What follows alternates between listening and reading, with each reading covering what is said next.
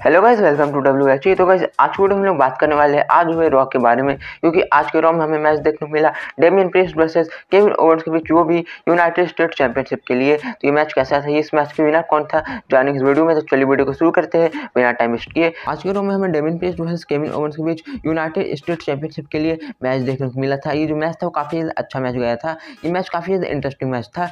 Match के end की बात करें तो मैच के एंड में जो डेमिन प्रेस्ट है उनको काफ़ी ज़्यादा गुस्सा आ जाता है। और लगातार केविन ओवंस पर अटैक करने लगते हैं। वो लगातार केविन ओवंस पर अटैक कर ही रहे थे।